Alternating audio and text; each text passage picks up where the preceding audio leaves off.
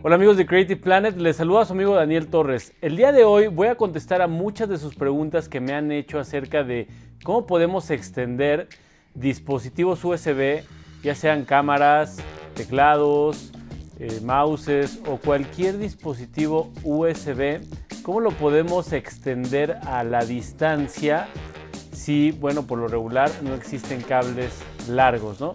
Y yo les voy a demostrar el día de hoy cómo podemos extender hasta 100 metros de distancia cualquier dispositivo USB con los dispositivos extensores de la marca Kramer. Así que no se despeguen porque a continuación lo descubrirán. Bien, pues aquí tenemos el equipo. El equipo Kramer, que es un extensor de señal USB 2.0 PT2UT R-Kit que vamos a checar el día de hoy. Este nos va a servir perfectamente para poder extender cualquier dispositivo USB 2.0 hasta 100 metros a través de un cable CAT, un cable UTP. En este caso tengo un cable UTP categoría 6. Podemos usar también categoría 5 y podemos ver aquí que tenemos un equipo transmisor y un equipo receptor. El equipo transmisor, aquí lo tenemos, tiene la conexión USB que va hacia la computadora, tiene también la entrada de audio que nos va a permitir mandar una señal de audio analógica también a través del cable, tiene sus focos de link y encendido y por la parte posterior tenemos la conexión al cable, en este caso debe de ir en un cable punto a punto, un cable de red no es un dispositivo de red, o sea, no va a ir conectado a la red de la empresa, pero sí va a utilizar un cable de red. Entonces puede utilizar la infraestructura ya montada de red, pero no tiene que ir a un switch, tiene que ir de punto a punto, de transmisor a receptor. Entonces podemos ver aquí también tenemos puertos que nos sirven tanto para hacer actualización de firmware, para conectar y hacer programación sobre el equipo, pero también nos permite poder enviar una señal RS232 para poder enviar control y también tiene su alimentación eléctrica. Entonces este dispositivo es nuestro transmisor. Acá tenemos el receptor. El receptor por su lado tiene pues la llegada del audio que mandamos desde el transmisor. Tiene sus puertos, cuatro puertos USB con alimentación que nos va a permitir llegar hasta nuestra computadora por medio del cable CAT. Y de este lado, pues la conexión, que es nuestro cable que va a ir de punto a punto. Lo mismo la conexión para poder programar o actualizar firmware. Y nuestro receptor de el control por RS232 que viene del transmisor. Y aquí también conexión de corriente por 12 volts, corriente directa. Bien, entonces, lo único que tenemos que hacer enseguida es conectar este dispositivo a nuestra computadora y conectar nuestro cable de red a través de estos puertos para que posteriormente solo hagamos cualquier conexión de un dispositivo a través de estos puertos y nuestra computadora lo deberá reconocer. Vamos a ver qué más viene en la caja. También vemos una guía de inicio rápido donde nos explica básicamente de qué trata cada una de las conexiones y vamos a ver que también tenemos fuente de alimentación,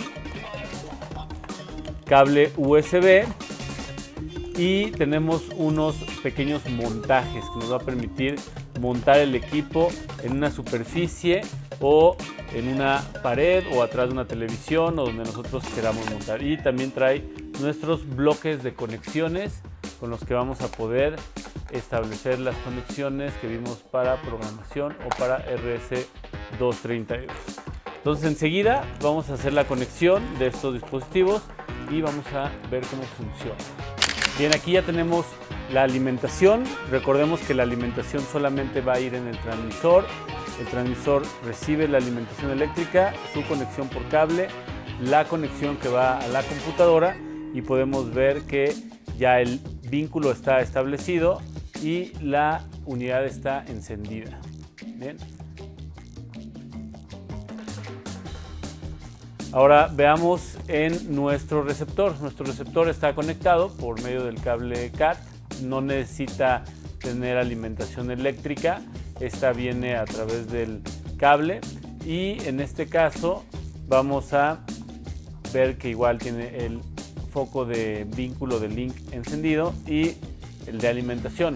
Ahora lo único que tenemos que hacer es conectar cualquier dispositivo USB 2.0 a cualquiera de estos puertos y vamos a poder verlo en nuestra computadora detectado. Recuerden que este cable puede ser de hasta 100 metros de distancia y podemos conectar hasta cuatro dispositivos más audio y control RS232.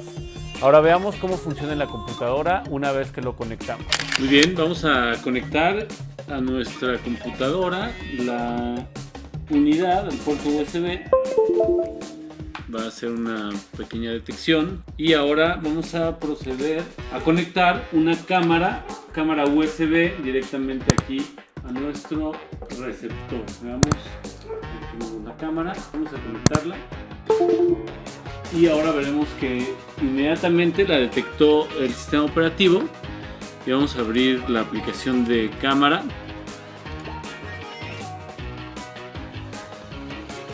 Y podemos ahora ver cómo fue detectada la cámara sin ningún problema. Y pues ahora el video está siendo transmitido sin mayor problema en este caso es una cámara web. Vamos a dejar la cámara web conectada. Vamos a ver un teclado. Vamos a conectar ahora este teclado que además es un teclado iluminado. Como por acá. Y vamos a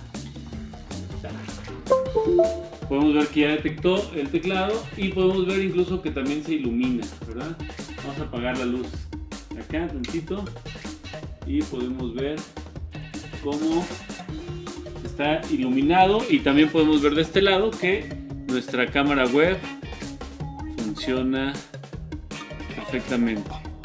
Ahora también podría conectar vamos a prender la luz también podría conectar un teléfono para que se cargue. Vamos a ver acá tenemos un teléfono. Vamos a conectar el teléfono. Bien y vamos a ver ok correcto el teléfono ya. También está cargando. Y pues todavía tenemos un puerto disponible. Podemos conectar todavía un mouse. Vamos a conectar un mouse inalámbrico. Vemos que la computadora inmediatamente lo detecta.